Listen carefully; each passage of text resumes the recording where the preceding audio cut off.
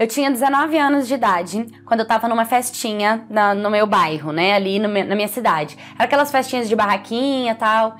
E tinha um homem lá muito bonito, muito simpático e todo elegante, sabe? Todo vestido assim, no traje social. Eu tava numa fase de curtição, pegação. Eu não queria saber de namorar. Mas ele era tão legal, tão educado, tão carismático, tão homem, que eu não conseguia falar não. Então nós começamos a nos desenvolver, começamos a namorar. E nisso, a gente namorando, a minha família começou a se apaixonar por ele, porque ele fazia de tudo pela minha família. Só que eu, gente, eu não conseguia ser fiel. Eu comecei a atrair ele a rodo. Eu traía pra caramba, eu dava perdido, eu enganava, eu mentia. Nossa, cara, eu fazia tanta coisa, tanta coisa. E ele começou a se desenvolver insegurança e ciúmes. Não era nada fora do normal. Ele tinha razão em tudo que ele cobrava, em tudo que ele falava. Só que eu era tão maldosinha, tão maldosinha, que quando ele pagava de ciumento pro meu lado, eu falava para ele assim: é, você merece ser chifrudo. Eu traía ele e ainda falava isso pra ele.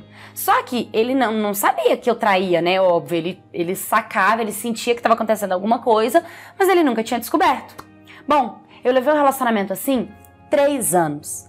Três anos sendo infiel, sendo mentirosa, as pessoas sabiam, as pessoas viam. Meus amigos se afastaram de mim completamente, eles não gostavam do que eu fazia.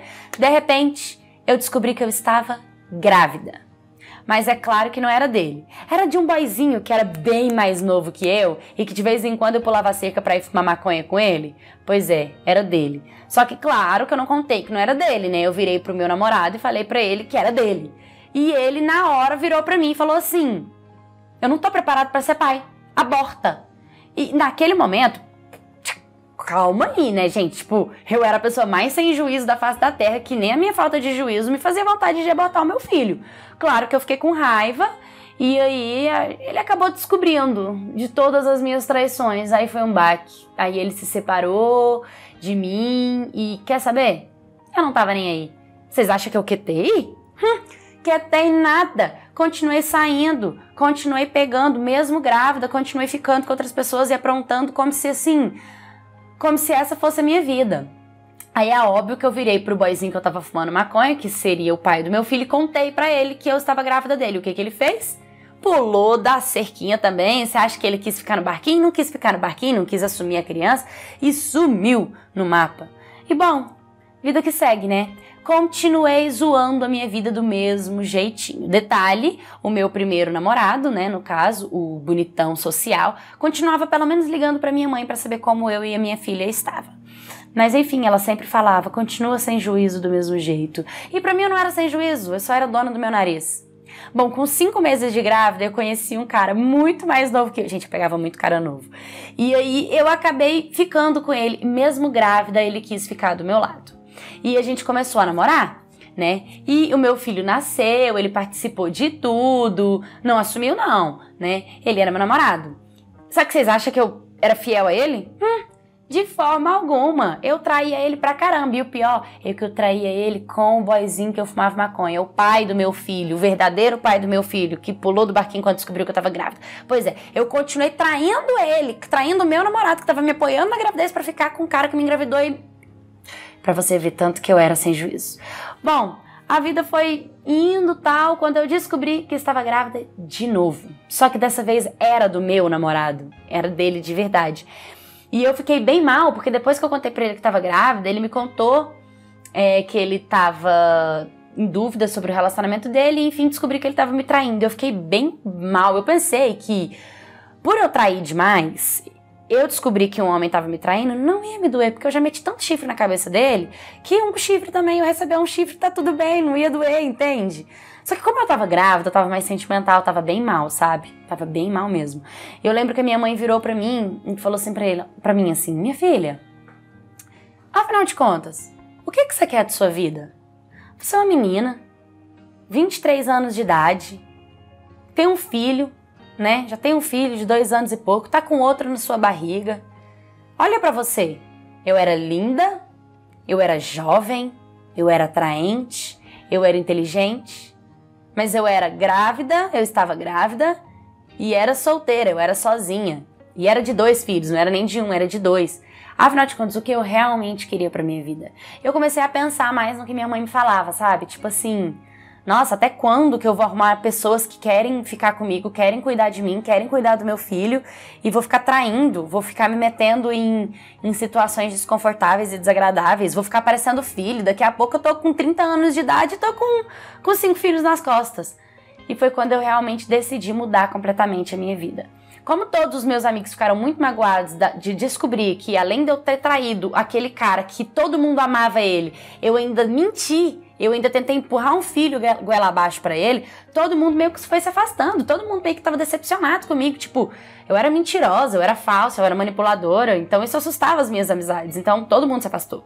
Só que quando eu resolvi mudar de vida de verdade, que eu vi que, tipo, eu tava sozinha, eu era sozinha, toda a minha curtição, minha cachaçaiada, minha bebida, minha farra, as transas que eu tinha, eram coisas tão fúteis e tão supérfluas e tão rasas que não dava nem para considerar isso como algo bom. E foi quando eu comecei a focar em realmente saber o que, que eu queria.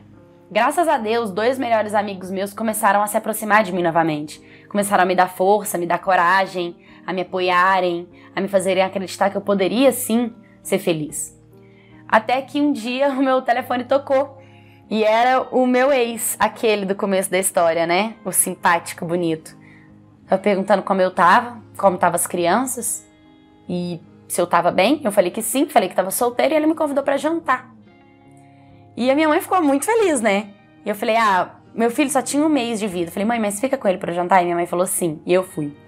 E, e lá no restaurante, eu contando, desabafando, né, falando para ele todos os meus problemas, as minhas dores, tudo que eu passei durante esse tempo inteiro, eu pude perceber como ele é homem porque um homem de verdade, ele te apoia, ele te escuta, ele te abraça, ele te perdoa, ele mostra que você é capaz, ele te admira, ele te levanta. E ele fez tudo isso em um jantar. Ele fez eu sentir uma admiração por ele que eu nunca tinha sentido na minha vida. E por incrível que pareça, ele quis continuar comigo. Hoje nós estamos juntos. Meu primeiro filho tem 20 anos, meu segundo filho tem 18 anos e o meu filho com o meu marido tem 11 anos. Eu precisei passar por tudo isso para dar valor nele. Hoje eu sou eternamente grata pelo marido que eu tenho, pelo pai, porque ele assumiu, registrou os meus dois filhos. E eu tenho um grande homem dentro da minha casa. Graças a Deus, graças a Deus. Eu não sofri tanto quanto eu poderia e deveria ter sentido por todo o mal que eu causei. E graças a Deus eu tenho uma pessoa incrível do meu lado. Oi, My Cats, tudo bem com vocês? Gente, eu terminei a história falando, que bom! Nossa, graças a Deus deu tudo certo para ela, ela conseguiu voltar, ela conseguiu aprender a amá-lo, aprender a respeitá-lo, aprender a admirá-lo e, e, teve um, um, um grande ponto na vida dela, né? Porque o cara teve com ela, assumiu os filhos dela e continuou amando ela incondicionalmente, independente de todas as vezes em que ela magoou, ele não retribuiu, né? Ele não praticou com ela o que ela praticou com ele. Isso é muito bonito e difícil de se ver. Por isso que eu escolhi essa história. Espero que vocês tenham gostado. Se vocês também têm alguma história parecida, deixe nos comentários ou me mande sua história. Curta, comenta, compartilha, se inscreva. Um beijo e até o próximo vídeo.